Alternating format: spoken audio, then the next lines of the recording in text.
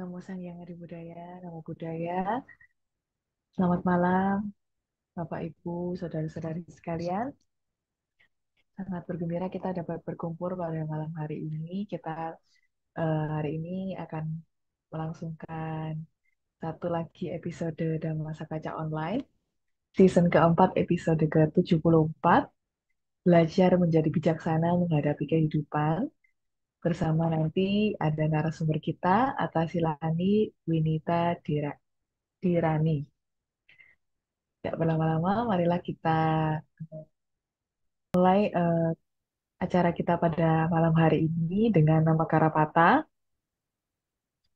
Saya akan pandu. Arahang sama sambudo bagawa Budang Bagawantang Abiwademi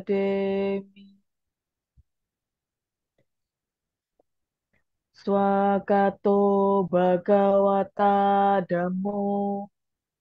Dhammang Namasami. Supatipano Bhagavato Sawaka Sangho Sanggang namami.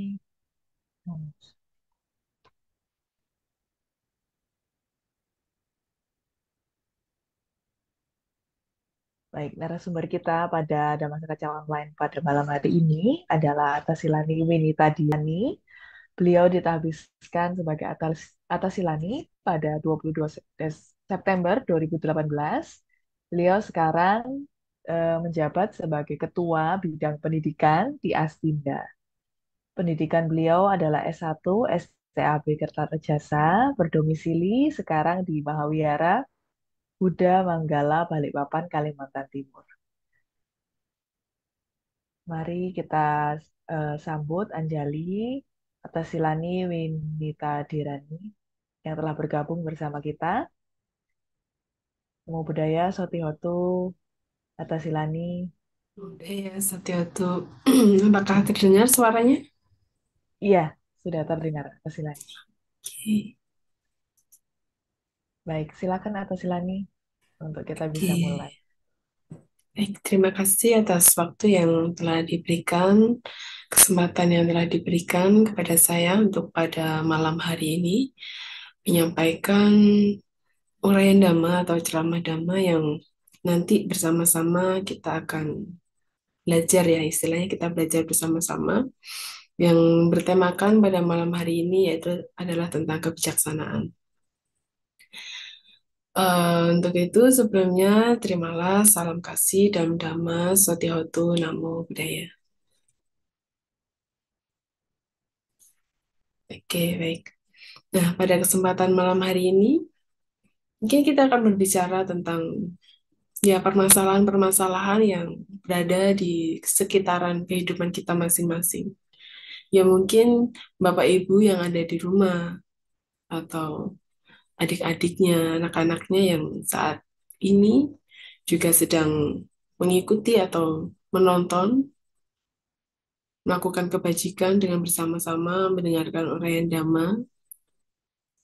Nah, pada malam hari ini mengapa kita perlu untuk membahas yang namanya kebijaksanaan? Karena di kehidupan saat ini sudah mulai maju ya semuanya, teknologi semuanya. Jadi berkembang pesat dan permasalahan-permasalahan yang ada di sekitar kita pun juga bertambah banyak. Tidak hanya individu satu atau individu yang lain, tetapi semuanya pasti mengalami yang namanya permasalahan. Masalah-masalah yang timbul entah itu dari individu sendiri atau dari individu ke kelompok atau bahkan di masyarakat. Jadi bagaimana nih kita untuk dapat belajar memahami dengan bijaksana ketika kita mengalami masalah-masalah itu pada kehidupan kita. Nah, yang pertama, mungkin yang ada di luar sana yang sedang bekerja, kebanyakan memiliki masalah kehidupan, yaitu adalah dengan partner kerjanya. Atau memiliki masalah-masalah yang entah karena banyak pikiran, jadinya menumpuk hingga diakibatkan atau diistilahkan menjadi stres, kebanyakan pikiran. Pekerjaan yang ini belum selesai, sudah ada lagi. Permasalahan yang ini belum selesai, sudah ada lagi. Nah, di sini kita akan belajar juga bagaimana cara kita untuk memahami setiap permasalahan yang ada. Bagaimana kita memaklumi, bagaimana kita memiliki ketahanan terhadap masalah-masalah yang muncul. Jika kita melihat bagaimana seseorang di luar sana banyak sekali memiliki persoalan, persoalan terhadap orang lain. Kita perlu lihat juga, kita perlu cari tahu. Apakah persoalan ini memang benar-benar kita yang salah? Atau banyaknya di sana menyalahkan situasi, kondisi, dan sekitarnya. Tetapi apabila seseorang yang sudah memiliki sudah memiliki benih-benih kebajikan, pastinya yang dicari bukanlah siapa yang salah, tetapi dari mana sumber permasalahannya. Apakah karena kita tidak tahan dengan keadaan? Apakah kita sendiri belum memiliki ketahanan atau memiliki kesabaran? Jika dikatakan kesabaran, terus banyak silah. Kesabaran itu banyak sekali. Contohnya sabar menunggu, sabar diam. Itu adalah contoh-contoh dari kesabaran. Tapi apabila seseorang yang sudah memiliki yang namanya kebijaksanaan, pastinya ia memiliki juga yang namanya ketahanan. Ketahanan di sini mampu bertahan dengan keadaan-keadaan yang sedang dialaminya mampu bertahan ketika ada masalah, mampu bertahan di setiap kondisi yang ada, entah itu kondisi yang menyedihkan menurut menurut beliau-beliaunya, menurut mereka, atau kondisi yang sangat-sangat memang tidak bisa untuk kita istilahnya kita hindari. Ketika seseorang yang memiliki banyak permasalahan, ketika seseorang yang memiliki banyaknya masalah, banyaknya pikiran yang ada yang saat itu terjadi, pasti mereka akan berpikir bagaimana cara untuk menyelesaikan masalah ini. Terlebihnya, banyaknya yang dicari adalah lari dari masalah itu. Lari dari persoalan-persoalan itu. Bagaimana kita bisa hidup tenang apabila kita masih berlari-lari seolah-olah kita dikejar oleh permasalahan. Jika seseorang yang telah memiliki kebijaksanaan, ia pasti akan memiliki yang namanya ketenangan batin. Ia akan memiliki yang namanya ketahanan. Ia juga akan memiliki yang namanya kebahagiaan di mana pun ia berada. Ia akan selalu tenang dalam kondisi apa pun. Ketika sedang mengalami permasalahan, ia akan berusaha untuk tenang. Ia sudah memiliki ketenangan. Nah, bagaimana cara kita untuk dapat memiliki hal-hal tersebut, memiliki sifat-sifat tersebut? Tentu banyaknya orang ketika menjumpai permasalahan, entah itu dengan teman, bertemu dengan teman, kita tidak bisa memaafkan teman ini. Mengapa? Kita tidak bisa memaafkan partner kerja kita. Kenapa? Karena kita masih terbawa oleh masa lalu, cerita-cerita yang lalu. Seperti halnya pada masa sekarang, kita bertemu dengan teman, kita bertemu dengan saudara, atau mereka yang sudah lama tidak bertemu dengan kita. Tetapi tiba-tiba ada perasaan yang sangat mengganjal di hati. Di batin ketika bertemu dengan orang ini, kenapa ya? Saya selalu jengkel melihat orang ini. Kenapa? Apakah karena orangnya? Apakah karena waktu bertemu dengan dia ini tidak tepat atau karena saya. Banyaknya masalah yang tidak selesai. Banyaknya masalah-masalah di luar sana yang kita ingin lari saja nih, kita tidak menyelesaikannya, lari saja dari masalah ini. Karena apa? Karena kita takut menghadapi masalah itu. Karena kita tidak memiliki ketenangan ketika menghadapi atau mengalami masalah tersebut.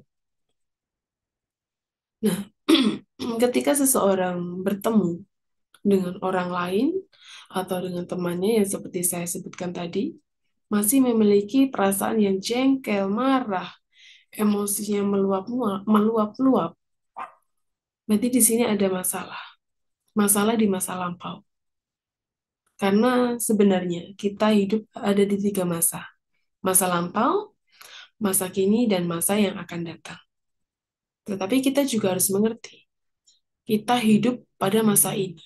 Masa lampau, biarlah berlalu, dan masa yang akan datang, biarlah mereka datang sesuai dengan waktunya.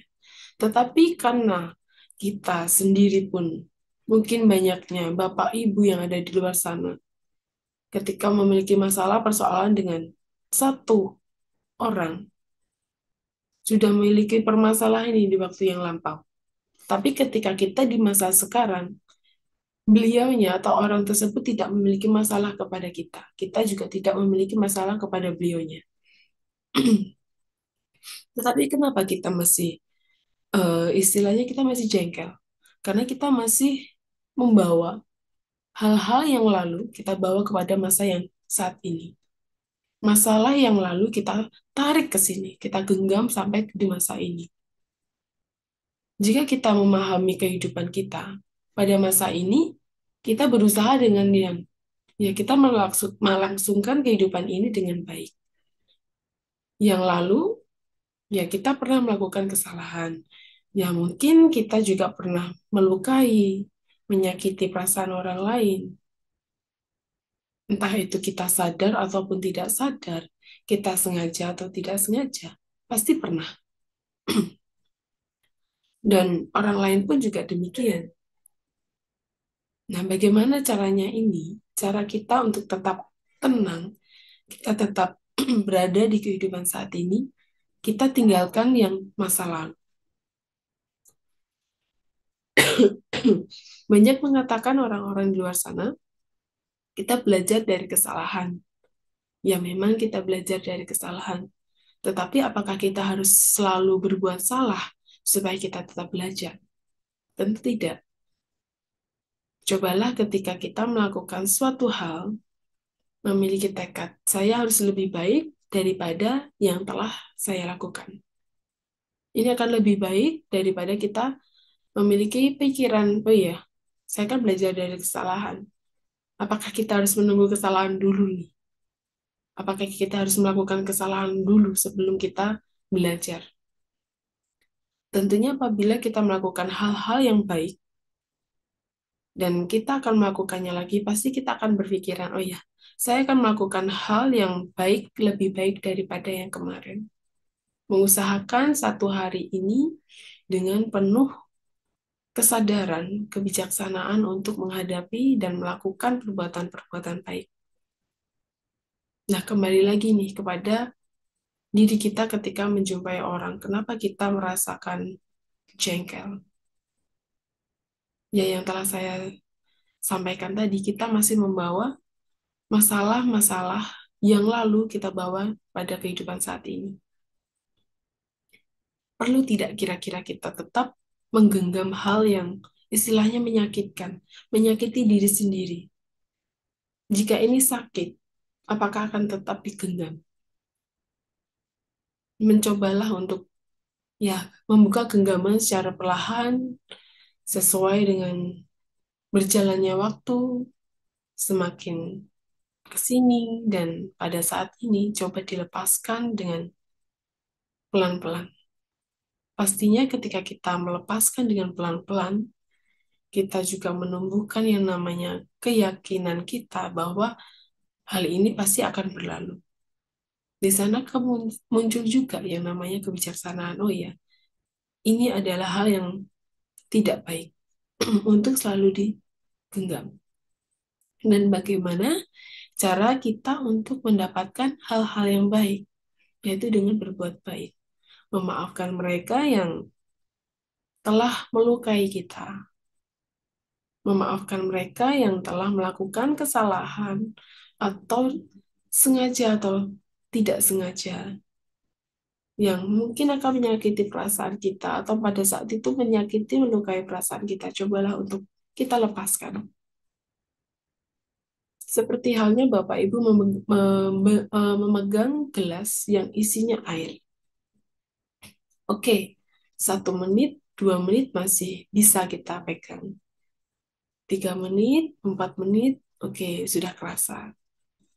Apabila botol itu berisikan air, kita pegang selama satu jam, dua jam, tiga jam, atau satu hari.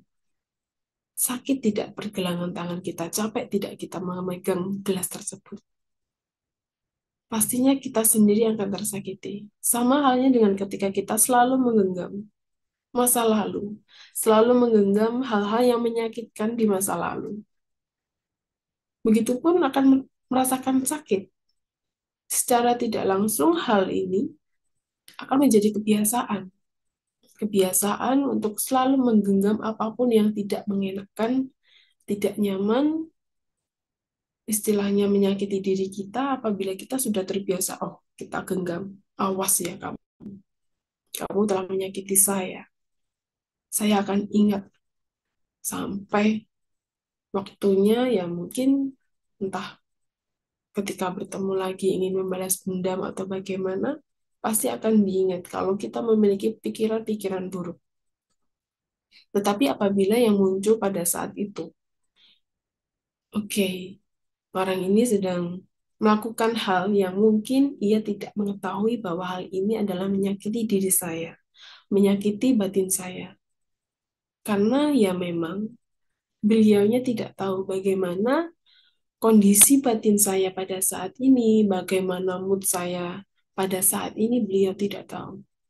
Ya mungkin beliaunya sedang ada masalah dan mungkin juga beliau tidak tahu bagaimana cara untuk menyelesaikan masalahnya, cara untuk menyelesaikan masalah yang ada di dirinya. Ia tidak tahu bagaimana caranya. Dan mungkin pada saat itu kitalah yang ada di sana kita berusaha menjadi seorang pendengar yang baik. Ya mungkin pada saat itu kita sedang dimarahin atau kata-katanya pun yang melukai kita. Tapi kita juga harus mengetahui kondisi. Oh iya, kondisi beliau sedang tidak oke. Okay. Kita berusaha semaksimal mungkin pada saat itu kita membantu. Membantu dengan cara apa kita mendengarkan. Kita dengarkan, dengarkan saja dulu. Pasti nanti setelah emosinya sudah reda, yang di pikirannya awalnya yang memang penat sekali bagi orang tersebut, itu sangat sulit untuk dikeluarkan dan ada ada kita di sana. Cobalah kita untuk mendengarkan. Dengan kita mendengarkan, kita sudah membantu, kita sudah berbuat baik. Asalkan batin kita pun juga tenang saat menghadapi hal tersebut kita juga memiliki, kita juga mencoba untuk menumbuhkan namanya kebijaksanaan ketika kita mendengarkan hal tersebut. Oke, kita dengarkan, dengarkan.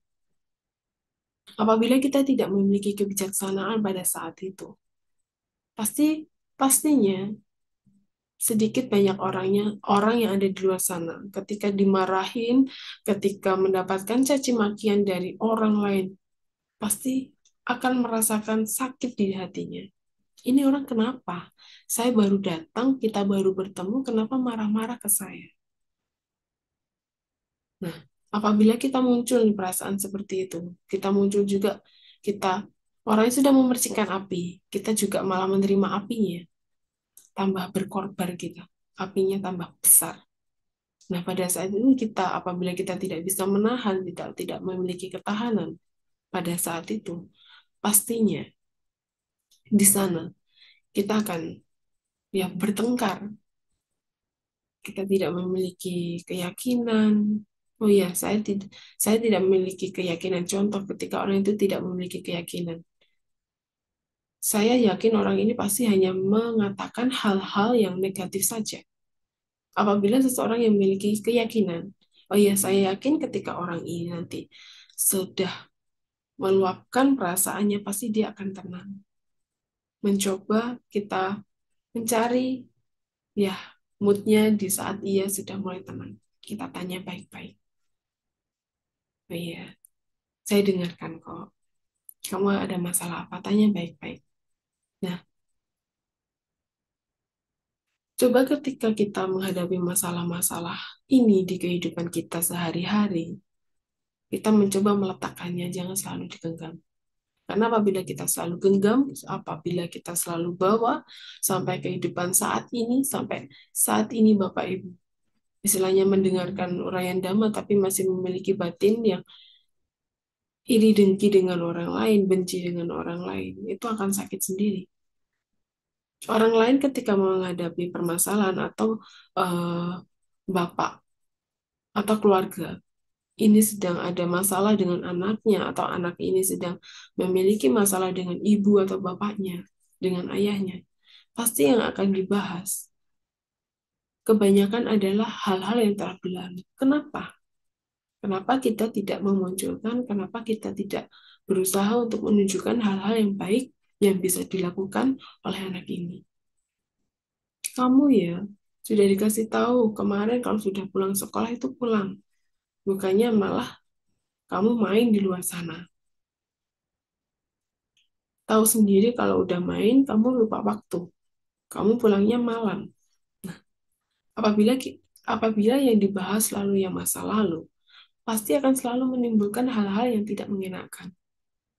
Selalu ditumpuk. Tetapi apabila kita hidup di masa saat ini, yang dibahas adalah saat ini, kita memunculkan hal-hal yang apabila kita ingin mengatakan hal atau mengatakan menasihati anak ini dengan hal-hal yang baik, pasti akan diterima dengan baik. Oke, kamu kemarin sudah pulang malam. Akibatnya ketika kamu pulang malam, kamu badan kamu capek semua. Kamu nanti dimarahin lagi. Cobalah lebih baik daripada yang kemarin. Belajarlah pulang tepat waktu. Yang berlalu sudah tinggalkan. Pulang lama, pulang malam, coba ditinggalkan. Lebih awal daripada yang lalu. Di situ akan menimbulkan perubahan di sana. Perubahan dari seorang anak ini. Nah, mengapa kita selalu menggenggam masa lalu? Ya karena kita masih belum bisa menerima keadaan pada masa itu. Kita belum memiliki, mungkin sudah memiliki, tetapi kita masih belum tahu oh ini baik atau tidak ketika kita bawa sampai di masa saat ini. Sama halnya ketika orang yang selalu memikirkan, mendambang-dambangkan masa yang akan datang. Boleh, kita boleh merencanakan, kita boleh. Tetapi apabila rencana yang telah kita kita rancang sedemikian indahnya, kita rancang dengan sesuai dengan keinginan kita. Apabila rancangan tersebut tidak sesuai dengan ekspektasi kita, realitanya berbeda. Di sana pun juga akan muncul yang namanya kecewa. Kok bisa ya? Kenapa bisa seperti ini? Muncul ketidakterimaan. Karena apa? Karena kita sudah meninggikan apa yang akan terjadi ini. Kita sudah sudah merencanakan hal yang sangat besar, tetapi dengan realitanya tidak sama. Di sana pun juga akan memunculkan hal-hal yang tidak mengenakan. Kita membuat planning nih, oke okay, besok saya mau siram tanaman, oke besok saya mau berangkat kerja menggunakan motor, menggunakan sepeda, atau hal lainnya. Tetapi ketika kita sudah merencanakan satu hari besok, ternyata hujan, ternyata tidak bisa menyiram tanaman. Karena ternyata ada hal-hal yang lain yang membuat rencana kita ini berubah. Kita marah. Iya, kita harus tahu sebab kenapa kita marah kita marah karena kita memiliki hal yang sangat diinginkan. Mau saya gini, kenapa hasilnya begini? Nah, karena banyak, terlalu banyak hal yang dipikirkan untuk masa yang akan datang. Terkadang orang juga stres. Terkadang orang juga akan merasakan ketakutan. Nanti gimana ya? Contohnya ketika seseorang ingin sidang skripsi. Contohnya ketika seseorang akan melakukan interview, wawancara. Di sana pasti ada ketidaknyamanan sebelum hari H tersebut. Di sana pasti muncul, ih besok gimana ya? Ini gimana ya? Gimana ya? Gimana ya? Muncul banyak pertanyaan. Tetapi apabila kita menyadari pada saat itu, oh ya, hari ini saya akan melakukan, saya akan belajar dengan baik supaya besok ketika sidang, ketika menghadapi hal-hal yang mungkin tidak sesuai dengan ekspektasi, kita bisa menerimanya dengan lapang dada. Nah, ini sangat perlu. Sangat perlu untuk kita kembangkan. Nah, bagaimana cara kita untuk mengembangkan yang namanya kebijaksanaan? Yang pertama, kita bisa pergi ke wihara. Kita mendengarkan ceramah dari para bante, para biku, samanera, atau siapa pun yang sedang menguraikan dhamma. Kita mencari pengalaman-pengalaman yang ada di luar kita belajar dhamma. Dengan belajar dhamma, pasti akan menumbuhkan, menambahkan pengetahuan kita. Kita akan mengerti yang namanya baik untuk dilakukan dan hal yang tidak baik untuk kita tinggalkan. Apabila kita muncul keraguan-raguan nih, kita ragu-ragu. Apabila kita keragu-ragu, apakah kita akan diam saja? Pastinya kita di sana memerlukan untuk bertanya. Nah, ketika kita datang ke wihara, kita memiliki keraguan-raguan. Kita bertanya. Dengan cara kita bertanya, dengan cara kita meluapkan apa yang ada di pikiran kita, menanyakan kepada beliau-beliaunya yang yang mulia, para bante, para pengajar dhamma, pasti kita akan mendapatkan jawaban dari keraguan-keraguan tersebut. Nah, setelah kita mendapatkan jawaban-jawaban dari keraguan itu, dari pertanyaan yang ada, kita juga melakukan mempraktikkan hal-hal yang baik. Tentunya ketika contoh nih, Bante, ketika saya melakukan perbuatan baik kepada orang ini, tapi orang ini tidak tidak tidak mengucapkan terima kasih kepada kita. Apakah kita perlu untuk melakukan perbuatan lagi? Apa kita perlu untuk berdana lagi kepada orang ini? Kita ragu-ragu karena ketika kita melakukan perbuatan baik, ketika kita berdana kepada orang itu, ternyata orang itu tidak memiliki yang namanya berterima kasih, tidak tidak mengucapkan terima kasih.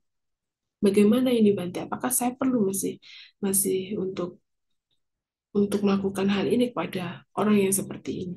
Nah, dari sana pasti akan mendapatkan jawaban-jawaban. Apabila jawaban yang dirasa masih belum puas atau jawaban yang diberikan masih belum cukup, kita bisa bertanya sampai dirasa keraguan itu sudah terjawab. Nah, dengan dengan demikian kita akan memiliki yang namanya kebijaksanaan.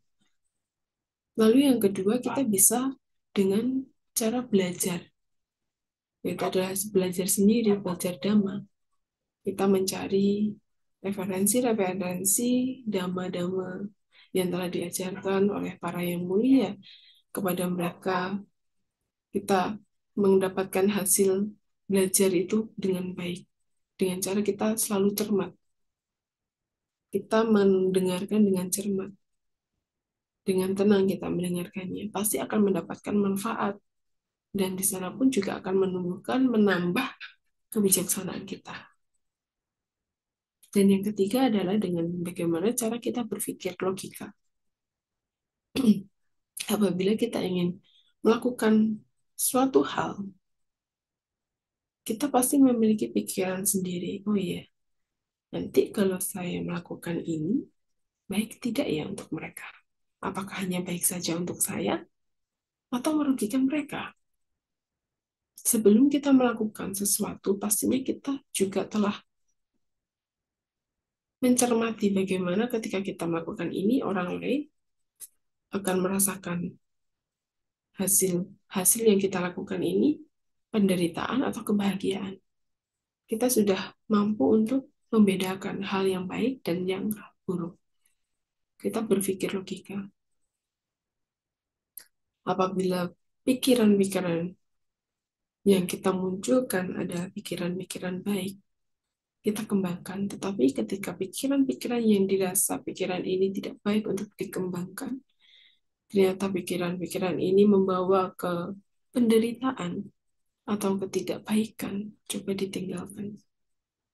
Apabila kita sudah memiliki benih kebijaksanaan, maka benih ini kita pupuk, kita rawat dengan cara belajar dhamma, mendengarkan atau bertanya kepada para yang mulia, para bante, para bijaksanawan, kalian mita yang baik, kalian mita yang selalu mendukung kita, mengajak kita berbuat baik dan mengingatkan kita pada hal-hal yang tidak baik untuk dilakukan. Dan kita pun juga mengembangkan kebijaksanaan dari pikiran kita masing-masing.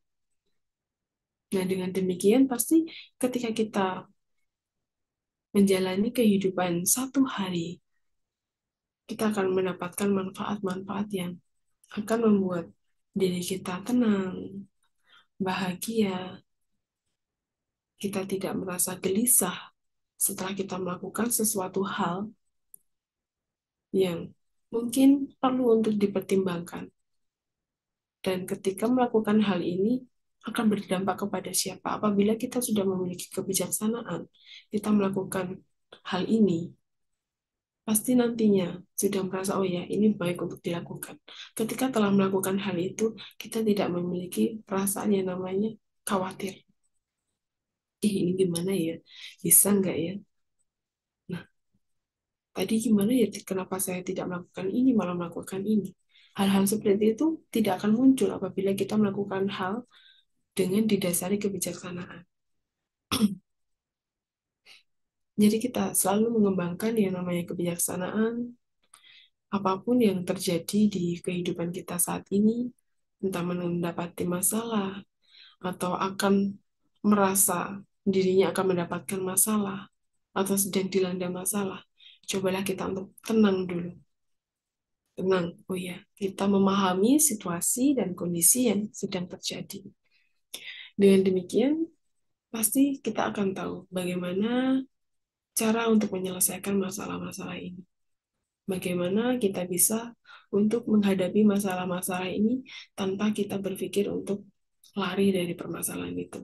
Apabila kita lari terus, maka tidak akan selesai masalah itu. Tetapi apabila kita hadapi dengan kebijaksanaan, hadapi dengan ketenangan, pastinya di sana kita akan mendapatkan jalan. Nah, setelah kita mendapatkan jalan, lalu bagaimana untuk kita mengerti keadaan tersebut? Jadi kita selalu mengembangkan mengembangkan dan kita memahami apa yang akan kita lakukan. Melakukan hal itu juga perlu didasari oleh tapa. Apabila Bapak Ibu sudah memiliki tapa, malu berbuat jahat, takut berbuat jahat. Nah, malu berbuat jahat karena ya nanti ketika kita berbuat jahat, kita takut akan akibat ini. Nah, di sana pasti kita akan berhati-hati kepada apa yang akan kita lakukan hal apa yang kita akan lakukan, mengambil keputusan seperti apa pun ketika kita sudah memiliki hidrotapa, pastinya didasari oleh kebijaksanaan. Nah, mungkin demikian yang bisa saya sampaikan. Saya kembalikan lagi kepada MC pada malam hari ini.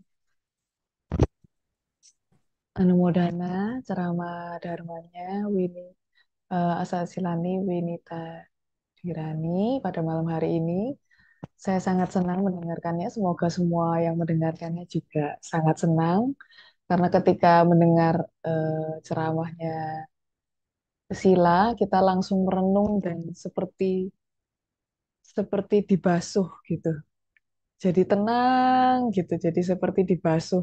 Semua kekotoran batinnya hilang semua setelah dengerin apa eh, Sila bilang harus begini, harus begini, harus begini. Langsung pikirannya langsung yang mikirin benar-benar yang seperti yang Sila tadi sampaikan. Jangan begini, jangan begitu. Langsung pikirannya langsung, ya ampun, hari ini saya berpikir seperti itu. Jadi relate gitu maksudnya Sila. Semoga yang nonton juga eh, banyak bertanya karena ini sangat relate dengan kehidupan kita sehari-hari ya. Bagaimana kita sebenarnya terombang-ambing dengan emosi kita, kadang-kadang marah, kadang-kadang begini, jengkel, nggak dalam situasi yang mah aku salah gitu pikiran. Padahal kita maunya mudah-mudahan masuk nibana gitu. Eh, tapi pikirannya kok begini terus tiap hari gimana mau masuk nibana cita-cita gitu. Semoga eh, ini kesempatan untuk Bapak Ibu, saudara-saudari Dharma untuk bisa bertanya kepada Sila. Silakan bisa raise hand, chat di YouTube bisa, di chat di sini juga bisa. Saya akan coba cek di yang di YouTube juga ya.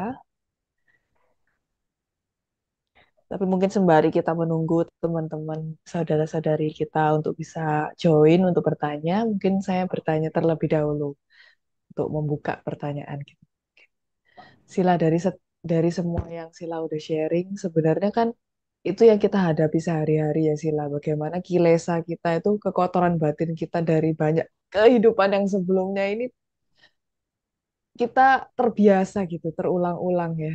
Mudah sekali jengkel sama orang, mudah sekali pikirannya tidak terkontrol. Menurut Sila, seharusnya kita saat kita menghadapi situasi yang seperti itu, tuh bagaimana kita, apa yang harus kita lakukan di Sila?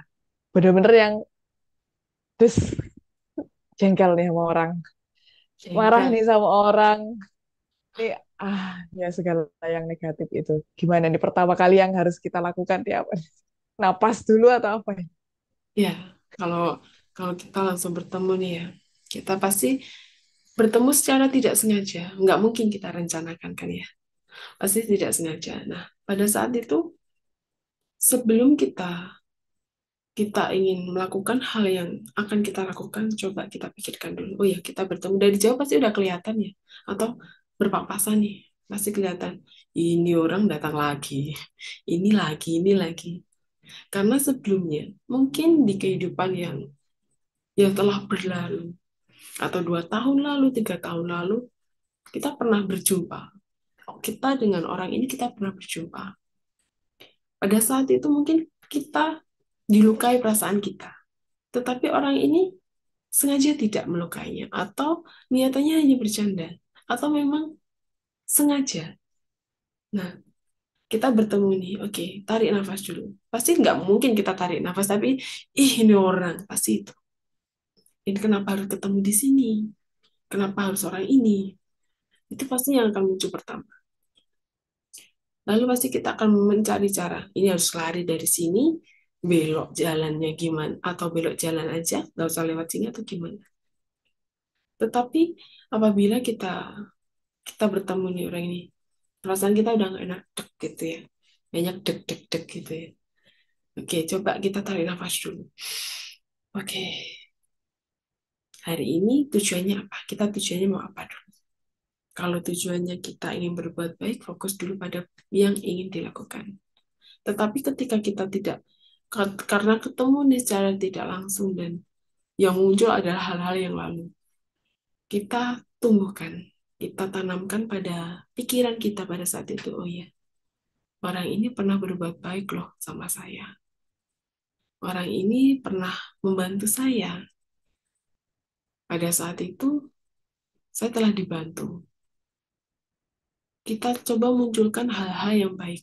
Kita munculkan orang ini itu banyak baik berbuat baiknya kepada kita. Kesalahan yang telah dilakukan coba kita geser dengan perbuatan baik yang telah dilakukan kepada kita. Karena apabila kita berjumpa dengan orang, sudah perasaan kita jengkel, kita marah sama orang ini, gedek sama orang ini. Itu adalah hal-hal yang udah lalu, tapi masih kita bawa, masih kita genggam. Kita udah tahu, digenggam aja udah udah capek. Apalagi kita bawa sampai, ya kita nggak tahu kita bawa sampai kapan. Apa nggak tambah capek melukai diri sendiri? Nah, pada saat itu kita munculkan, oh iya orang ini pernah berbuat baik kepada saya. Munculkan hal-hal yang baik yang pernah ia lakukan kepada kita. Karena orang ini saya pernah begini. Munculkan saja. Dan coba setelah kita munculkan hal itu, kita berusaha untuk memaklumi.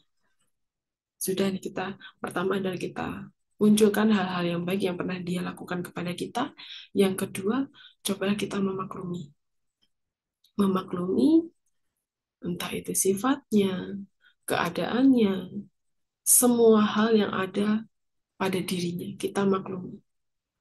Apabila kita sudah memiliki pemakluman kepada orang, bahkan kepada diri kita sendiri, kita pertama harus maklum dulu kepada diri kita sendiri.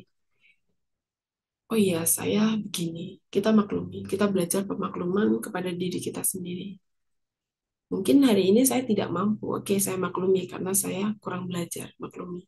Tapi untuk berubah, bagaimana? Ya saya belajar dengan giat. Maklumi kita. Maklumi apa yang kita lakukan. Pertama. Yang kedua, ya tadi kita memaklumi orang ini. Oh iya, kita tumbuhkan pemakluman kepada orang ini. Orang ini begini. Kita maunya begini. Bisakah kita merubah orang? Bisakah kita merubah hal yang ada di luar. Sangat sulit kita merubah apa yang ada di luar, tetapi yang bisa kita lakukan adalah merubah bagaimana cara kita berpikir, bagaimana cara kita memandang orang lain. Coba ketika kita muncul rasa jengkel, kita muncul rasa benci, kita munculkan juga pemakluman. Oh iya, kita sadari dulu ketika saya marah, jengkel, benci pada orang ini, orang ini enggak enggak, orang ini tahu enggak ketika kita sedang merasakan hal itu. Ya mungkin kelihatan ya dari mukanya mungkin kelihatan. Bete gitu ya, kelihatan, judes kelihatan, marah kan kelihatan. Tapi cobalah kita memaklumi keadaan orang itu. Apabila kita sudah mampu memaklumi orang itu, ketika kita bertemu, oh ya maklum aja, orangnya seperti ini. Saya tidak bisa menuntut apa yang saya mau terhadap orang lain. Apa yang saya inginkan harus dituruti orang lain tidak. Coba kita merubah pola pikir kita. Kita bisa merubah yang apa yang ada di diri kita, tapi ingatlah kita sulit untuk merubah apa yang ada di luar, terlebih lagi kepada mereka yang sudah dari lahir memiliki hal-hal tersebut. Kita tidak bisa secepat itu kita apa yang kita mau itu selalu dituruti orang lain tidak bisa. Nah, dengan demikian sudah memiliki oke, okay, orang ini kita menumbuhkan perasaan-perasaan pada hal yang orang itu pernah lakukan kepada kita yang baik-baik kita ingat. Oke, okay, yang kedua kita mem memunculkan pemakluman. Nah, apabila sudah kita sudah memiliki pemakluman ini, maka di sana kita akan memiliki ketenangan. Bagaimana cara kita menghadapi orang ini? Kita bisa tenang, kita bisa bijaksana. Oh ya, kita tahu orang ini seperti ini, kita sudah tahu. Bagaimana nih cara kita menghadapi orang yang seperti ini? Contoh halnya seperti kita kita diberikan buku orang kalau kita diberikan buku, kita ambil buku, diberikan buku nih. Buku kan ada ada dua sisi, sisi depan dan sisi belakang. Mungkin kalau bukunya tebel, ada ada tiga sisi yang bisa dilihat. Dari sisi yang sebelah yang bisa kita, saya tunjukkan buku dulu. Mungkin yang sebelah sini kita tidak suka melihat sisi yang depan. Kita tidak suka melihat sisi yang depan. Coba kita rubah cara cara pandang kita. Oke, kita buka yang sisi belakang. Tetapi kenapa ini sisi belakang masih tidak membuat nyaman kita? Oke, kita lihat dari sisi yang sebelah sini. Pastinya yang sisi sebelah sini, ya mungkin dari ketiga sisi ini, ada yang membuat kita nyaman untuk bisa membuka. Apa yang membuat kita nyaman untuk tetap membuka buku ini. Seperti itu. Contohnya seperti itu. Bagaimana kita bisa melihat orang lain, seperti halnya kita melihat buku. Saya tidak suka melihat orang ini, karena pertama yang kita lihat adalah keburukannya. Oke, keburukannya yang kita lihat. Sisi depan adalah keburukan. Lalu kita geser nih, kita pindah, kita balik kita lihat dari sisi belakang. Kok tetap nggak nyaman ya?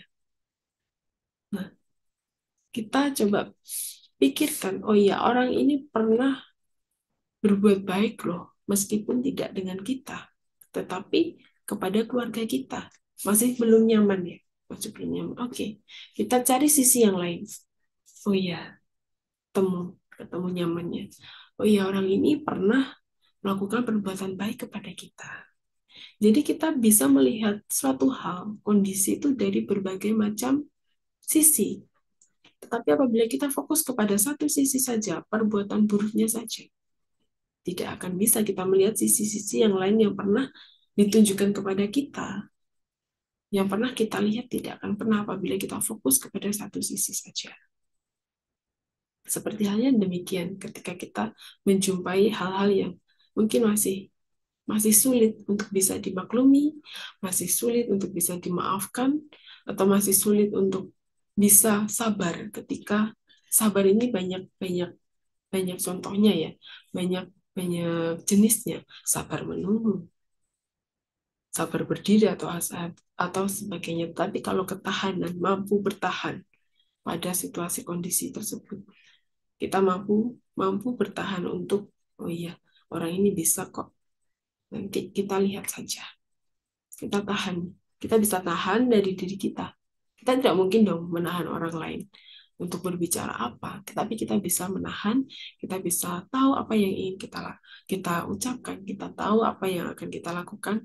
Ini nanti baik atau tidak ketika kita lakukan ini kepada orang lain. Manfaatnya ini yang kita lakukan ini hanya saya saja atau orang lain yang merasakan kebahagiaannya. Seperti itu. Mungkin dari saya yang bisa saya sampaikan itu. Atau yang lain, nanti mungkin belum klik, ya kita cari sama-sama. Seperti itu yang bisa saya sampaikan.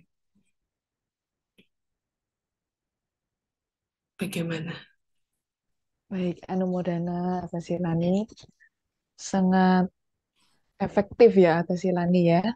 Uh, saran-sarannya bahwa kita selama ini memang selalu memutar-mutar keburukan orang lain sehingga kilesa kebenciannya menguat karena yang diingat yang memang jeleknya. Setelah ingat baiknya langsung hilang memang. Memang sangat efektif tadi yang atas Silani disampaikan.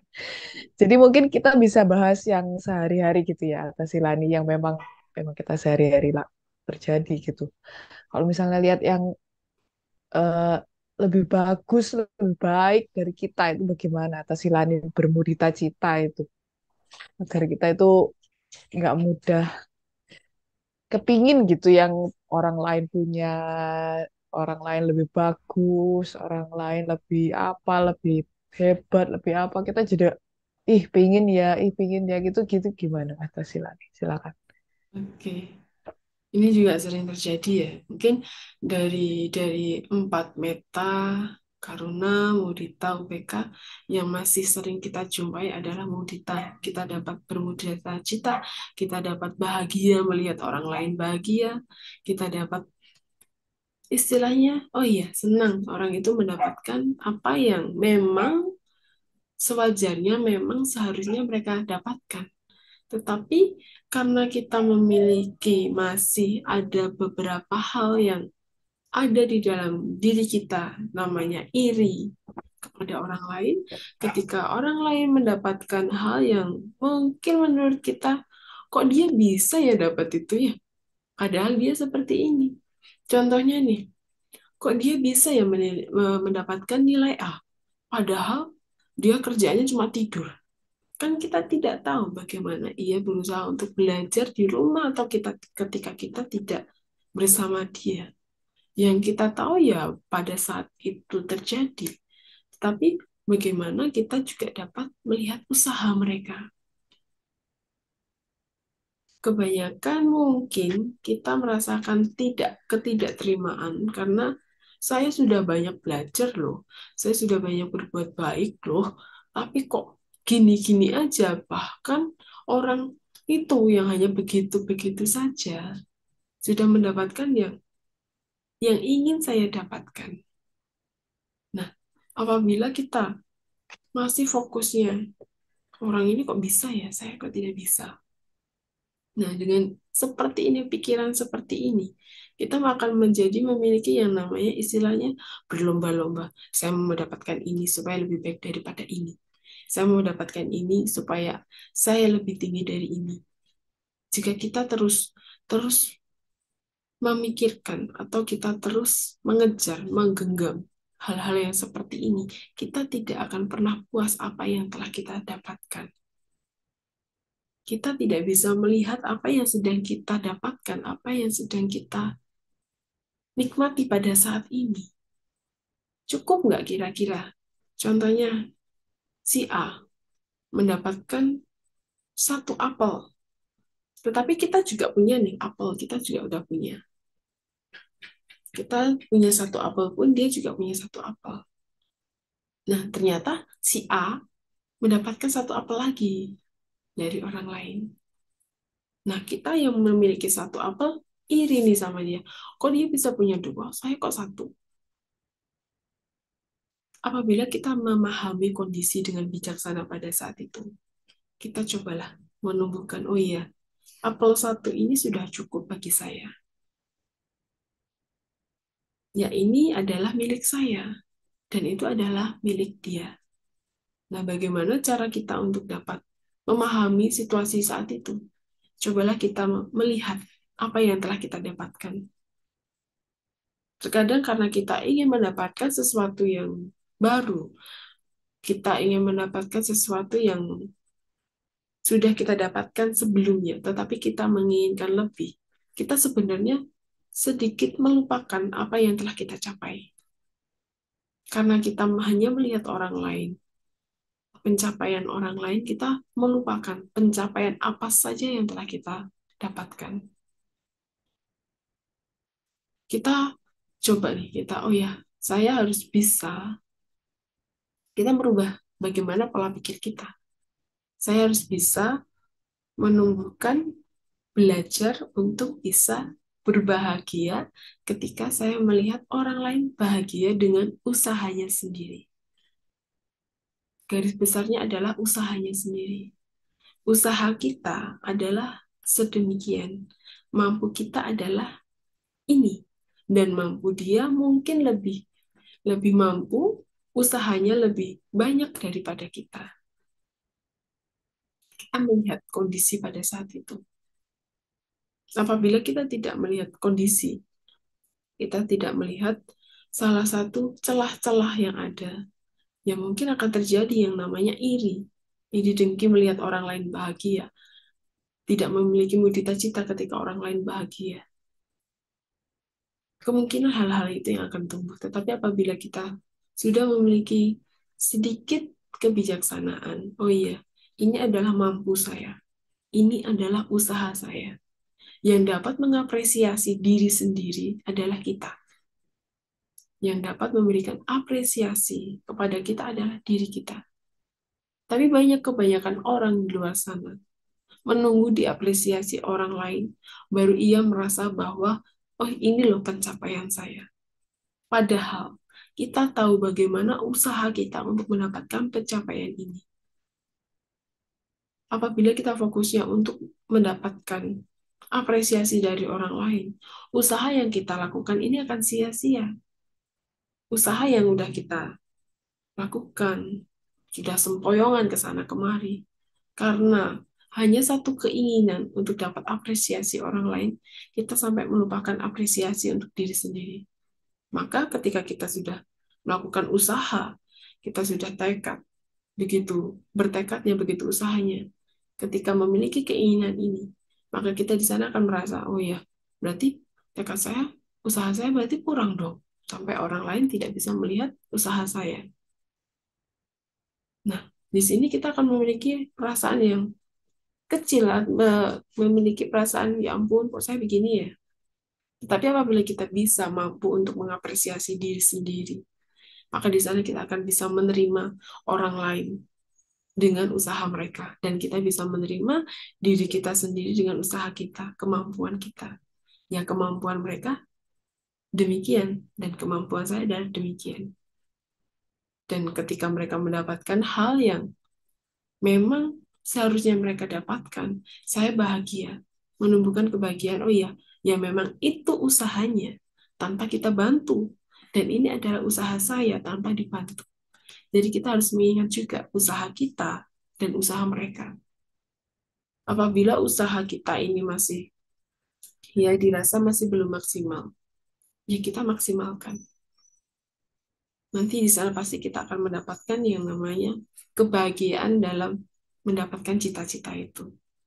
Kita tidak perlu menunggu orang lain untuk diapresiasi. Kita setiap hari memberikan apresiasi kepada diri kita sendiri. Coba sebelum kita tidur, biasanya yang banyak muncul ketika kita ingin tidur, sebelum kita tidur pasti akan prepare mau tidur, entah menata bantal, selimut, guling, dan lain sebagainya.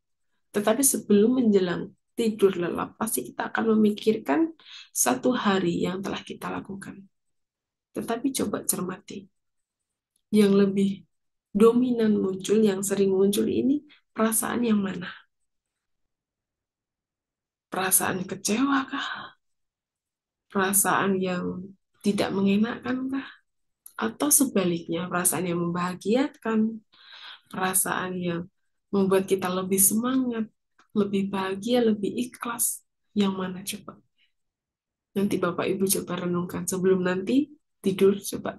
Yang lebih banyak muncul yang mana? Dari sana kita bisa melihat bahwa kita bisa melihat kehidupan kita pada satu hari ini itu penuh dengan kebermanfaatan apabila yang muncul adalah hal-hal yang baik. Tetapi apabila yang muncul adalah hal-hal yang tidak enak, membuat kita tidak nyaman, artinya kita belum bisa menerima keadaan kita. Artinya kita belum bisa menerima, belum bisa untuk dikatakan, oh iya, hari ini kita tidak bisa memberikan apresiasi, belum bisa menerima apa yang telah terjadi. Karena kita fokus pada satu hal yang mungkin membuat kita ya tidak nyaman ketika kita telah melakukan, ih kok bisa ya tadi saya melakukan ini, padahal saya bisa melakukan ini. Nah, dengan demikian kita juga berpikir, oh ya, nantinya kita bisa belajar, oh ya, saya harus berhati-hati lagi, saya harus lebih bijaksana lagi untuk memilih apa yang harus kita lakukan. Dengan demikian, apa pun yang dilakukan apabila penuh dengan kebijaksanaan, itu akan membuahkan ya namanya tenang. Kita tenang, pikiran kita jernih. Kita tidak merasakan gelisah atau apa pun ketika kita tidur. Tetapi apabila satu hari ini kita lakukan tetapi pada malam menjelang ingin tidur adalah kegelisahan, ketidaknyamanan, berarti kita masih belum bijaksana atau kurang bijaksana untuk melakukan hal yang ada di luar sana. Begitu, seperti itu. Jadi, ketika kita masih belum bisa nih memunculkan mudita cita kepada orang lain, kita coba memberikan pemakluman. Kita lihat pada diri kita, kita apresiasi diri kita. Oh iya, usaha saya adalah ini saya harus bisa mengapresiasi diri saya supaya bisa lebih baik sebelum saya melihat orang lain. Ketika kita fokus pada orang lain, melihat orang lain, ini orang lain itu bisa gini, gini, gini, banyak sekali ya bisa dilakukan. Kita juga bisa, apabila kita terus belajar, kita bisa. Banyak orang mengatakan saya nggak bisa ini, saya tidak bisa tambah-tambahan, tidak bisa membaca. Semuanya dimulai dari awal.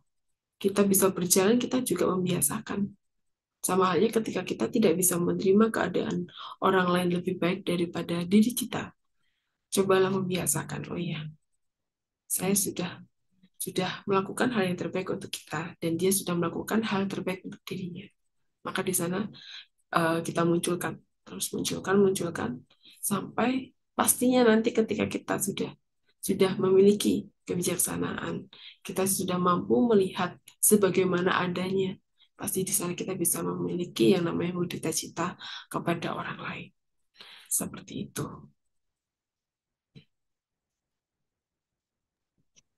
Mudah penjelasannya atas Silani. Ya. Bagi Bapak Ibu, saudara-saudari yang ingin bertanya, saya persilakan. Karena atas Silani masih masih bergabung bersama kita sampai uh, sampai jam 9 gitu ya. Jadi masih banyak kesempatan apabila Bapak Ibu ingin bertanya. Silakan. Bisa raise hand maupun chat di Zoom ataupun di YouTube. Silakan untuk panitia apabila ada yang di YouTube silakan di chat ke Zoom agar saya bisa tahu ya ada pertanyaan. Baik, atas Silani. Mungkin pertanyaan berikutnya. Tadi atas Silani di awal sempat mengatakan tentang stres, depresi begitu ya. Itu kan dalam satu kasus yang memang kita eh, sangat-sangat lemah ya uh, apa namanya kita tidak tidak punya kontrol diri dan kemudian kita terseret ke dalam stres yang berkepanjangan yang mengakibatkan satu depresi. Menurut Atasilani, bagaimana Buddhis, Buddhism itu ajaran Buddha mengajarkan kita untuk bisa keluar daripada stres yang sangat berat itu, depresi sampai depresi. Itu kira-kira kita bisa mulai dari mana itu, Atasilani? Oke, kalau kita mengalami yang namanya stres, banyaknya masalah yang dipikirkan, sebenarnya kita juga harus memahami ini stres dari mana asalnya. Stres karena memikirkan hal yang belum datangkah? Atau stres memikirkan hal yang telah berlalu? Kita harus pahami dulu. Apabila yang membuat stres adalah hal yang sudah berlalu, maka kita kembali lagi bagaimana cara kita untuk melepaskan perlahan-lahan. Bagaimana caranya kita untuk dapat memaklumi hal yang sudah berlalu ini. Bahkan stres pun tidak hanya dirasakan ketika kita sedang ya memang sedang berpikir, tetapi kadang kita duduk pun hanya duduk mengerjakan sesuatu dan kita tidak nyaman itu buat kita stres loh. Kita ingin belajar, tetapi kenapa ini pembelajaran tidak bisa diterima? Kita tidak bisa memasukkannya dalam ingatan kita. Di sana mungkin akan muncul yang namanya stres. Nah, sebenarnya stres ini karena kurangnya kita kepada yang namanya ketenangan batin. Bagaimana cara kita untuk mendapatkan ketenangan batin? Ya pada saat kita sangat banyak banyak sekali pikiran di, diminta untuk meditasi. Kira-kira berhenti nggak itu pikiran? Apa tambah banyak pikiran? Pastinya akan tambah banyak pikiran. Orang lagi banyak pikiran, malah, malah diminta untuk bermeditasi. Nggak dapat. Tetapi coba kita cari dulu masalah yang kita pikirkan ini apa sih sebenarnya? Yang sudah berlalu atau yang belum datang? Kita tenangkan kita tenangkan pikiran kita kita kita jernihkan dulu pikiran kita. Cari benangnya yang mana yang membuat kita stres. Oh ternyata kita temukan di benangnya. Benangnya adalah tentang yang belum terjadi. Banyak sekali hal yang membuat kita takut banyak sekali hal yang kita pikirkan sampai kita stres. Oh iya, besok mau ada ujian. Oh iya, setelah ini akan ada ulangan. Terus dipikir-pikirkan terus. Oh iya, besok kerjaan masih ada. nanti ditambahin lagi. Belum satunya selesai, dikasih lagi. Nah, ketika kita menumpuk, menumpuk, menumpuk tanpa kita tahu, di sana sudah kita sudah banyak tumpukan, tumpukan, tumpukan masalah yang seharusnya kita bisa selesaikan satu persatu. Ya, oke, okay, kita selesaikan satu persatu adalah hal yang harus dilakukan terlebih dahulu yang utama dulu kita lakukan. Apabila kita masih stres, oh ya besok harus gimana, gimana, gimana. Kita coba jernihkan dulu, oh ya, kenapa saya harus harus tidak nyaman, kenapa saya harus banyak pikiran, jernihkan dulu, tenangkan dulu. Ketika sudah tenang, maka kita selesaikan satu-satu. Oh iya, yang besok yang akan datang ya sudah kita tunggu saja sampai waktunya. Ya waktunya kapan? Waktunya besok. Ya sudah kita tunggu besok. Tetapi kita tidak masih tidak nyaman nih, masih kepikiran, masih gelisah. Bagaimana ini untuk menghilangi kegelisahan ini? Kita coba mencari teman atau guru atau entah mereka yang bisa membuat kita mencari jalan keluar. Apabila kita tidak bisa mencari jalan keluar kita sendiri, cobalah cari solusi. Cobalah cari teman yang dapat memberikan kita solusi. Ya memang kita harus menyelesaikan masalah kita sesuai dengan kemampuan kita. Tetapi bantuan dari orang luar, mereka yang sayang kepada kita, itu juga diperlukan. Kita mengunjungi para Bante, berdiskusi, Bante saya ada masalah ini, Bante. Bante saya seperti ini, seperti ini, sila saya seperti ini, seperti ini. Dengan kita bertanya, dengan kita mencari solusi dengan cara bertanya, itu akan membuat benang yang awalnya tidak karuan akan tertata, mulai tertata. Kita tahu, oh ya ini benang ini dari sini. Nah, setelah kita dapat mengunjungi, eh ternyata masih kurang nih, masih kurang. Belajar dhamma masih kurang nih, masih masih kurang. Coba kita praktekkan dulu. Sebelum kurang kita praktekkan dulu. Oh ya bisa nggak ya? Saran dari si A, si B, saya lakukan. Kita praktikkan. Oh ternyata sudah mulai oke. Okay. Nah, dari ke, dari ketenangan ini sebenarnya kita dapatkan dari meditasi. Nah, bagaimana kita bisa bisa meditasi kalau kita stres? Kita bisa mulainya dengan dengan perlahan. Ya, mungkin pertama 5 menit. 5 menit dulu. Oh ya, coba saya konsentrasi dulu. Saya konsentrasi, kira-kira bisa nggak? Saya menenangkan pikiran saya. Dicoba dulu. Nggak bisa sih lah nggak bisa gini-gini. Orang saya banyak pikiran disuruh meditasi. Dicoba. Terkadang kita perlu mencoba sebelum kita berbicara. Cobalah dulu. Kita rasakan dulu eh pasiku dulu. Kita coba kita coba. Jika cara pertama tidak bisa kita cari cara kedua jika kita mencari solusi dari teman-teman masih tidak bisa kita coba untuk menenangkan batin kita dulu kita latih, kita latih dengan menenangkan batin kita, supaya nanti ketika kita sudah mulai tenang, kita akan mulai memiliki yang namanya, oh iya, tahu nih harus gimana. Kita sudah memiliki jalan, kita sudah memiliki peta-peta yang ada di pikiran kita, oh ya ini harus ini. Nah, setelah itu kita juga harus memiliki usaha nih usahanya bagaimana? Kita usahanya mengevaluasi diri kita sendiri. Oh ya, kemarin saya karena banyak pikiran, jadinya saya stres, saya ke pusing kepala saya dan lain sebagainya. Kalau saya lakukan lagi, pasti saya akan begini lagi. Kita mengevaluasi. Oh iya, setidaknya saya harus melakukan yang harus saya lakukan pada saat ini dulu. Yang berlalu, oke, okay, kita perlahan-lahan kita lepaskan genggaman yang yang membuat kita stres kita lepaskan perlahan-lahan. Mungkin tidak bisa semuanya semuanya kita lepas tidak, tapi perlahan. Belajar melepaskan itu perlahan-lahan. Tetapi apabila Bapak Ibu bisa melepaskannya dengan langsung lepas gitu ya. Bahagia Bapak Ibu. Tidak banyak pikiran. Tapi kalau masih memang sangat berat untuk dilepaskan ya satu-satu dicari jalannya dulu cari benangnya dulu latih meditasi berdiskusi bertanya. Dan kita juga harus tahu bahwa semua hal ini adalah anicca. Bisa berubah kapan pun.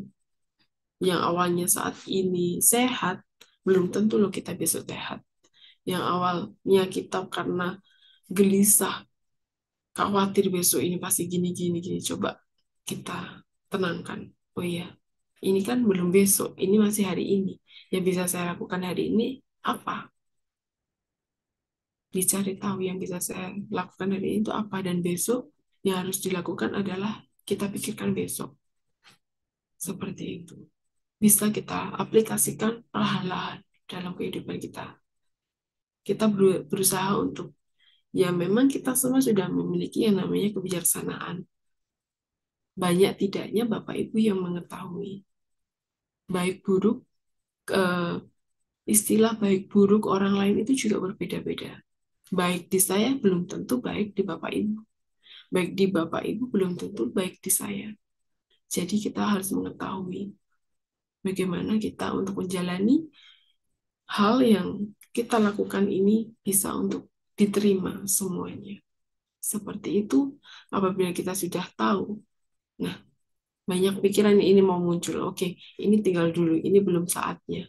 Oh iya, ini muncul karena udah yang lalu ya sudah itu berlalu kita tidak bisa kepada masa yang lalu kita tidak bisa berjalan-jalan di masa lalu. Kita hidup di masa saat ini. Jadi yang kita pikirkan adalah hari ini, detik ini dan saat ini. Mungkin itu yang bisa saya sampaikan. Anumodana, Sila. Semoga kita bisa melatih hati kita ya, kesadaran kita dan kebijaksanaan kita. Jadi sehingga stres-stres itu sebenarnya karena pikiran kita yang suka ke sana kemari, ke belakang dan ke depan itu ya Sila ya. Hmm. Jadi masalahnya nggak selesai. Hmm. Karena yang dipikirnya kemarin, yang masa depan, solusinya yang sekarang nggak dikerjain-kerjain gitu ya Sila ya. Baik. Mungkin ada pertanyaan dari teman-teman yang di Zoom maupun di YouTube. Silakan, saya persilahkan. Baik. Mungkin pertanyaan berikutnya sila. Kalau misalnya kita tadi udah bahas tentang mudita, kemudian juga tentang cinta kasih, tentang uh, mengatasi depresi dengan sati. Kemudian mungkin kita bahas tentang saya pernah mendengar uh, satu ceramah pendek gitu ya Sila di di TikTok gitu ya Sila. Uh, seorang Bante itu mengatakan seperti ini percuma keinginan keinginan keinginanmu itu. Percuma untuk menginginkan sesuatu. Kita tidak perlu menginginkan sesuatu karena itu hmm, apa ya istilahnya ya? Saya jadi nggak seberapa ingat. Tapi uh, kayaknya itu mengarah ke semua keinginan-keinginan yang muncul di pikiran kita itu sebenarnya adalah uh, kita membuat karma lagi gitu. Kita uh, mengakibatkan kita bertumbal lagi. Jadi kalau kita ingin-ingin terus ya kita akan lahir ulang gitu. Itu itu gimana sih lah penjelasannya? Bahwa kita sebenarnya nggak perlu menginginkan apa pun gitu ya terhadap kondisi. Misalnya kita lagi lagi dalam situasi misalnya yang misalnya apa ya yang nggak enak banget gitu ya misalnya kebanjiran. Terus kita berdoa gitu kepingin aduh semoga ini banjir cepat selesai. Pikiran kita yang tidak menginginkan banjir ini itu sebenarnya tidak perlu gitu begitu di, dari ceramah itu dikatakan demikian. Contohnya ini saya contohnya yang lain sih itu gimana sila penjelasannya? Boleh mungkin dari sisi Sila mungkin dari saya tidak bisa dapat penjelasan nih karena saya lihat di TikTok. Oke okay, baik. Jadi uh, berdasarkan pemahaman saya ya, jika kita kan banyak nih keinginan-keinginan yang muncul, apalagi bagi bapak ibu yang mungkin bekerja, pasti ada keinginan di sana. Keinginan apa? Ketika bekerja pasti mendapatkan ya mendapatkan uang, mendapatkan jabatan, mendapatkan yang memang yang diinginkan. Tetapi sebenarnya yang perlu kita koreksi adalah seberapa besar keinginan kita untuk mendapatkan hal ini. Apabila kita men- mengikuti yang namanya keinginan terus kita kita istilahnya kita kasih, kita lapar nih. Kita ibaratkan ingin ini adalah sebuah kelaparan. Saya lapar nih. Ketika ingin ini diberi makan, tetapi ketika kita diberikan makan, kita tidak cukup. Jadi terus merasakan lapar. Sama halnya keinginan ini adalah rasa lapar ini. Rasa lapar, rasa lapar. Kita inginnya adalah diberi makan, tetapi kita dalam kenyataan diberikan minum. Kenyang nggak kira-kira?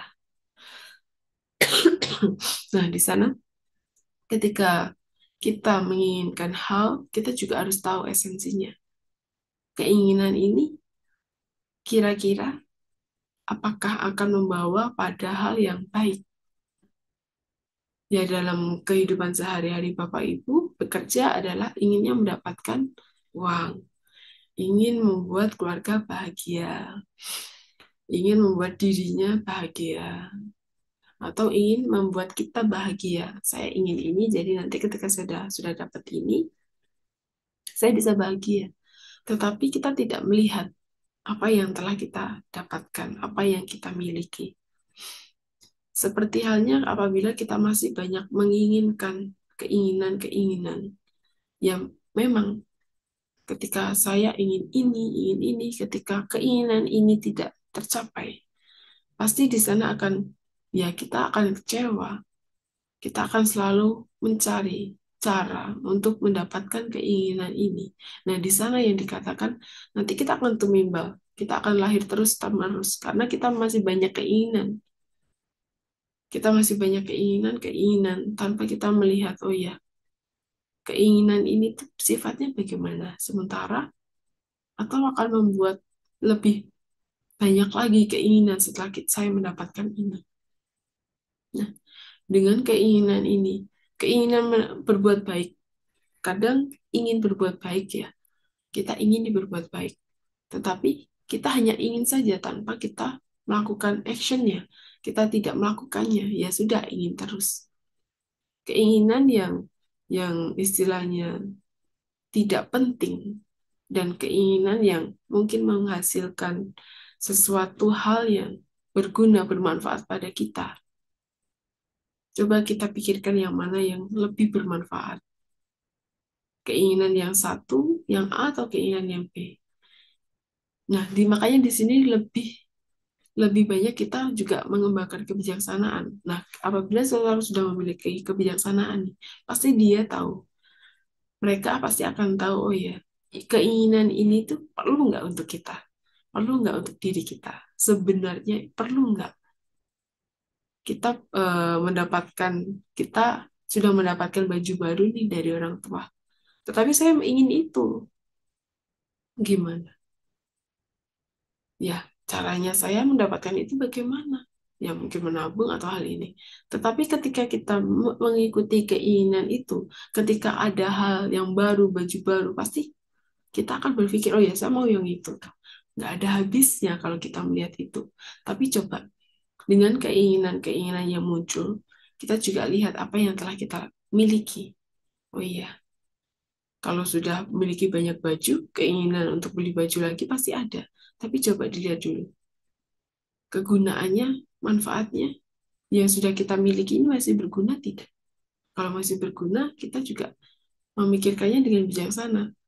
Oh iya, nggak lah kak, nggak beli nggak apa-apa. Jadi kita lebih melihat bagaimana hal-hal yang diinginkan ini, yang nantinya membawa kita kepada kebahagiaankah atau membawa kita kepada kurangnya. Jadi kita ingin terus, kita tidak merasa cukup gitu. Kalau kita merasa cukup dengan keinginan satu ini, ya sudah, kita lakukan yang keinginan satu ini. Tetapi apabila keinginan satu ini tidak memberikan cukup, coba kita pikirkan lagi. Baik nggak ya dilakukan begitu. Mungkin itu dari saya.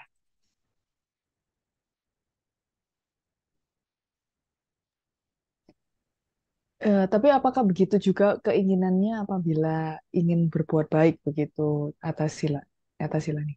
Misalnya ingin membangun ini, ingin menolong ini, tapi kan itu kan ingin juga gitu ya atas ilahi. Apakah itu juga sebenarnya sama aja kita akan lahir lagi gitu, tapi ya ya kita jadi orang yang lebih baik aja gitu kan.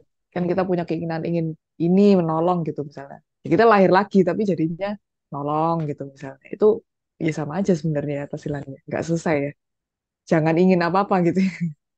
Jadi gini, kita harus membedakan keinginan berbuat baik, keinginan keinginan ini akan menghasilkan karma baik atau karma buruk.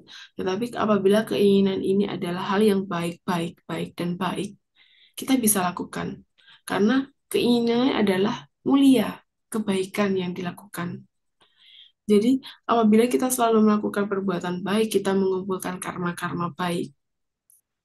Kita menggeser karma-karma kita yang buruk bukan digeser atau gimana, tapi kita lebih memperbanyak karma baik kita. Tidak menutup kemungkinan karma baik yang telah kita lakukan pada saat itu, kita memiliki keinginan didasari oleh kebijaksanaan. Kebijaksanaannya apa? Oh ya, saya melakukan, saya menginginkan ini karena ingin makhluk lain juga bahagia, saya pun juga bahagia. Tetapi apabila kita melakukan ini hanya ingin saya saja, atas dasar aku, tetapi tidak didasari orang lain atau tidak bahagia untuk orang lain, ya sama saja kita akan terus, terus, terus, terus seperti itu. Kita menggelinding seperti itu. Tapi apabila kita lakukan, kita pahami, oh ya kebijaksanaan dengan kebijaksanaan, perbuatan baik dilakukan untuk hal baik dan akan menghasilkan hal baik apabila kita lakukan terus terus itu akan membuahkan hasil baik untuk kita dan tidak menutup kemungkinan ketika karma baik yang telah banyak kita lakukan dari hasil keinginan perbuatan baik ini itu juga akan membuat kita terakhir di alam yang lebih bahagia lagi. Jadi kita keinginan ini harus kita dasari oleh kebijaksanaan terlebih dahulu. Jadi ketika oh iya didasari dulu kita tahu keinginan pasti kita sadar sadar pastinya saya ingin ini kita harus sadar kita temukan kebijaksanaan kita. Berguna nggak ya buat saya sama orang lain, atau hanya berguna untuk diri saya atau merugikan orang lain? Pasti ada di sana.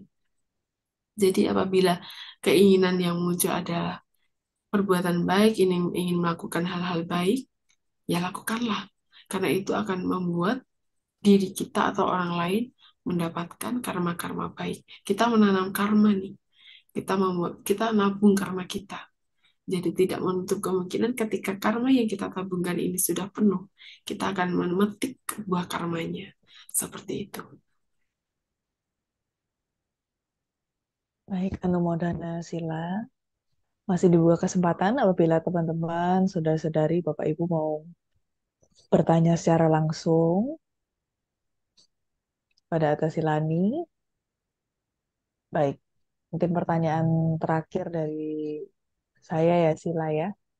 Uh, ini yang saya pikirkan barusan juga sih terkait keinginan untuk berdana. Jadi uh, ada keinginan untuk berdana, tapi kemudian saya berpikir, kenapa saya mau berdananya ke yang ini gitu? Kenapa nggak orang-orang yang di sekitar saya yang lebih dekat, yang mungkin lebih membutuhkan gitu? Kenapa harus ke sana? Jadi ceritanya ini jauh gitu yang saya mau berdananya. Karena itu pembangunan wihara. Jadi yang ada di pikiran saya adalah saya ya dapat karang baik yang banyak gitu kan. Terus uh, karena pembangunan wihara itu panjang gitu ya uh, gedungnya, terus buah karma baiknya banyak. Terus saya berpikir, kenapa saya berbuat baik tapi egois gitu?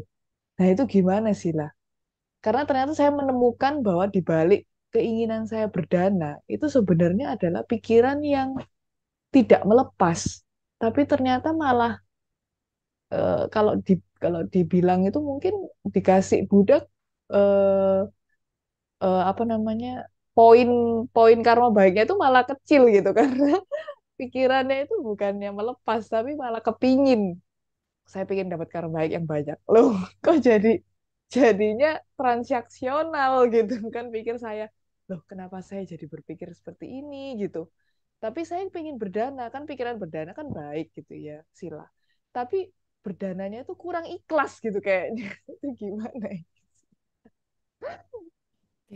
Gini, ketika kita ingin melakukan berdana ya, perbuatan baik, pastinya kita juga memiliki pikiran nih. Contohnya ketika ada pengemis di jalan, kita kita ada nih, ada ada dana yang ingin kita berikan. Tetapi ketika kita ingin memberikan, muncul nih, kita melihat fisik orang yang akan kita berikan dana ini ternyata sehat, dilihatnya sehat. Loh, badannya sehat kok masih muda. Kenapa minta-minta? Kan dia bisa untuk cari kerja. Tapi padahal kita ingin berdana ini. Awalnya kita ingin berdana, tetapi muncul pikiran seperti itu. Kira-kira yang dilakukan jadi berdana atau tidak? Pasti di sana akan banyak muncul, oh iya, ragu-ragu, muncul, ragu-ragunya muncul. Sama halnya seperti yang akan dilakukan dilakukan sedari seperti ingin berdana tadi. Oh, saya kok malah berdananya cari yang cari yang berkahnya dilihatnya lebih banyak daripada kita lihat nih ada ada tangga kah, saudara kah yang memang membutuhkan entah itu biaya entah itu biaya sekolah atau apa. Tetapi saya tahu karena saya tahu ketika saya berdana ke sana atau ke wihara atau tempat-tempat ibadah pahala saya lebih besar daripada yang di kita lakukan kepada orang lain. Berkahnya itu lebih besar daripada yang kita lakukan pada orang ini. Gitu. Jadi di sana pasti akan muncul ragu-ragu. Kasih ke sini atau kasih ke sini. Kalau saya kasih ke sini, berkurang dong. Tapi kalau nanti saya kasih ke sini, sayanya jadi nggak bisa ke sini. Nah, coba kita pikirkan. Kita tujuannya kan berbuat baik. Kalau tujuannya berbuat baik, dasar dari perbuatan baik adalah pikiran yang baik. Ya mungkin muncul pada saat itu, oh ya saya ingin berdana kepada wihara. Oke, sudah muncul tuh pikiran baiknya. Eh, ketika kita ingin melakukan atau sudah melakukan, kok saya berdana di wihara ya, bukan kepada orang ini, padahal kita tahu nih, orang ini sedang membutuhkan. Jadi apa pun yang akan kita lakukan, kita harus mengerti atau mengetahui, kita harus yakin dulu. Yakin nggak kita kasih ke sini? Yakin nggak dengan pemahaman saya seperti ini? Yakin nggak? Apa pun yang kita lakukan itu harus didasari oleh keyakinan dulu. Apabila kita ingin memberikan dana, oh ya, saya yakin dengan dana ini akan membantu semuanya. Oh iya, dengan dana ini saya bisa membantu orang lain untuk menjalani kehidupannya bahagia. Kita dasarinya dengan kebahagiaan orang lain.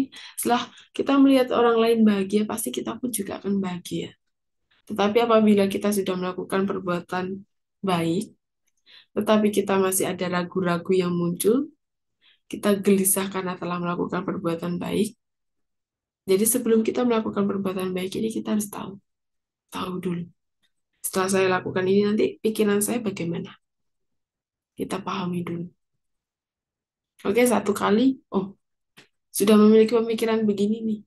Saya udah naku ini karena saya ingin lebih banyak berkahnya. Saya lebih banyak karma baiknya. Tidak sampai. Karena gini, apabila kita ingin melakukan perbuatan baik, yang harus disasari adalah pikiran kita dulu. Pikiran kita juga harus diluruskan dulu. Sebelum kita melakukan perbuatan baik, kita luruskan pikiran kita, kita cari tahu dulu.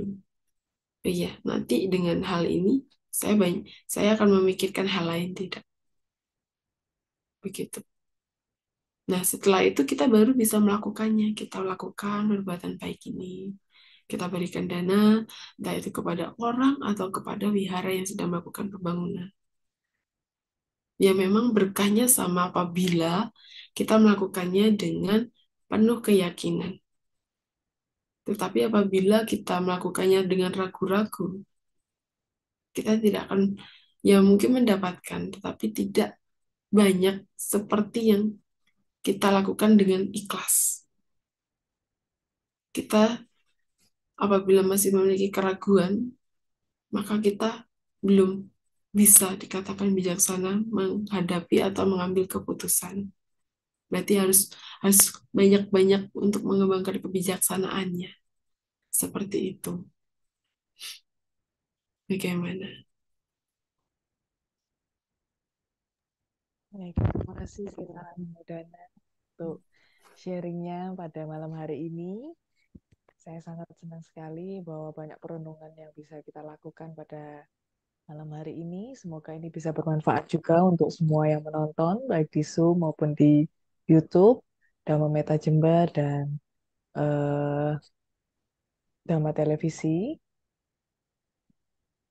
Baik, untuk acara selanjutnya adalah pelimpahan jasa ya. Silakan.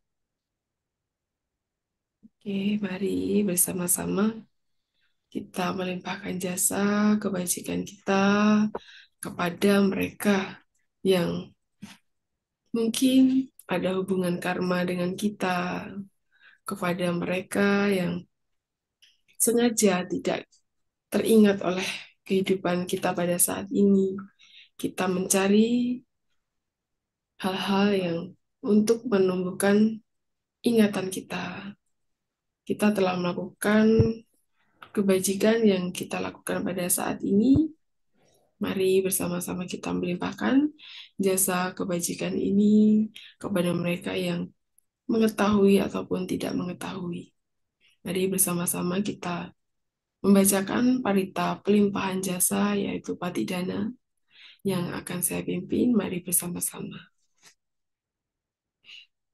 Handamayang patidana karumase punya sida nikatasa yananya nikata nime te sancabhagino hontu sattananta pamanaka ye piya gunawanta ja maihang mata pita dayo didhame japadithatva anye majhatawerino satta ditanti lokasming te bumma jatuyo nika pance kacatuwo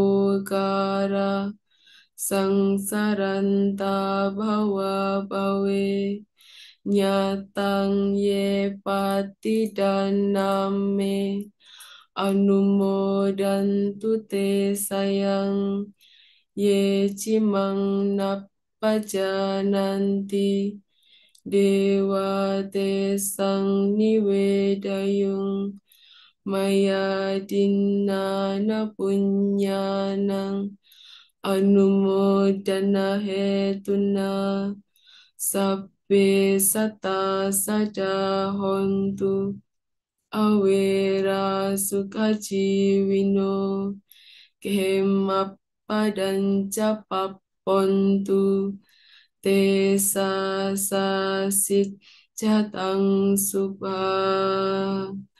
sadu sadu sadu Anumodana Sila untuk pembubaran des desainnya pada malam hari ini dan pelimpahan jasanya. Mungkin kita bisa tutup dengan closing statement sedikit ya Sila, tadi merangkum uh, yang kita bahas pada malam hari ini. Silakan Sila, sedikit aja kita closing dari pembahasan kali ini. Oke, okay. baik saya akan memberikan closing statement yaitu dengan bagaimana kita untuk dapat menghadapi permasalahan-permasalahan yang ada di kehidupan kita atau di sekitar kita. Yaitu pertama kita bisa melakukan dengan menumbuhkan kebijaksanaan. Dari kebijaksanaan ini, kita akan mampu untuk mengetahui bagaimana hal yang baik untuk dilakukan, bagaimana hal-hal yang perlu untuk dilakukan, atau bagaimana kita meninggalkan hal-hal yang tidak baik untuk dilakukan. Dan untuk menemukan kebijaksanaan pun kita juga memerlukan yang namanya belajar. Dari kita mulai belajar dhamma, diskusi dhamma, mendengarkan dhamma, mengunjungi para yang mulia, memiliki teman-teman yang baik, kalian amita yang baik. Kita bergabung, kita bergaul pada mereka yang bijaksana, maka kita pun juga akan memiliki kebijaksanaan di diri kita pun sebenarnya sudah memiliki kebijaksanaan. Tetapi apabila kebijaksanaan yang telah kita miliki ini kita tidak kembangkan, kita tidak tambahin dengan pengetahuan-pengetahuan yang ada di luar sana, maka kebijaksanaan ini akan memiliki kebijaksanaan yang sesuai dengan apa yang kita inginkan.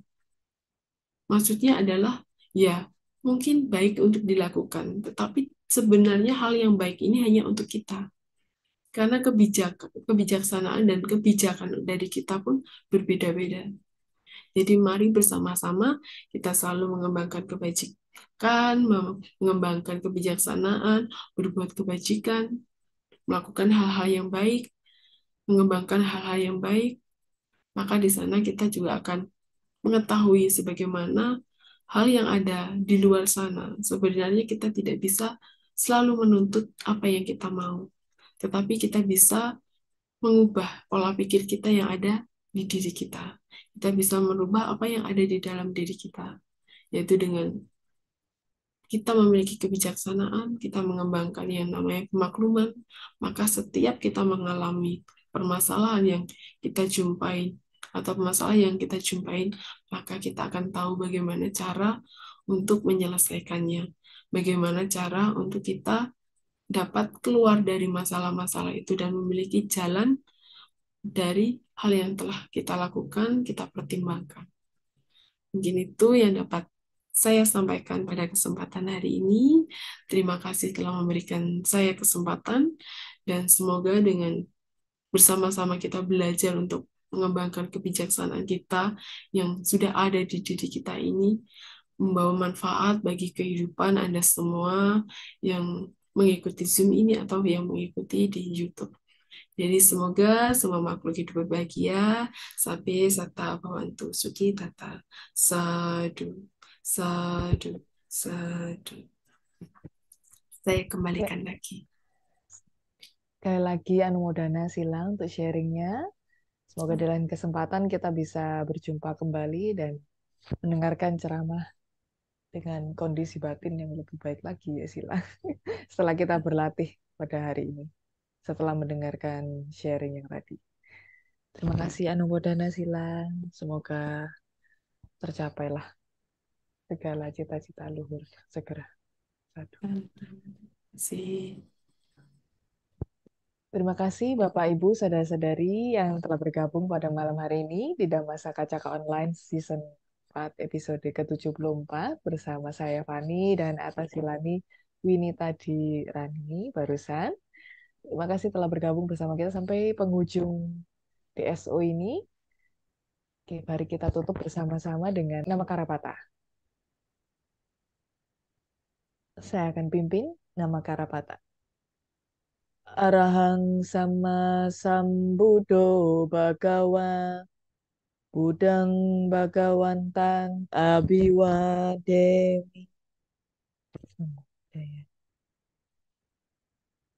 Swakato Bhagawata Damo Damang Namasami. Supatipano Bhagavato Sawakasanggo Sanggang Namami Sabesata Bawantu Sukitata Semoga semua makhluk hidup berbahagia Sadu, sadu, sadu